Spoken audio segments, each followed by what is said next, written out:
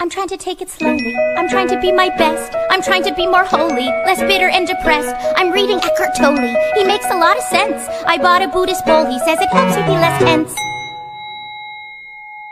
It doesn't do a thing for me. I sit there on the floor and watch a vivid sequence of humiliating incidents from my past go by and think what kind of masochist keeps coming back for more when she knows what's gonna happen. Cause it never doesn't happen. Cause it always, Sandy. always. Sandy. Michael?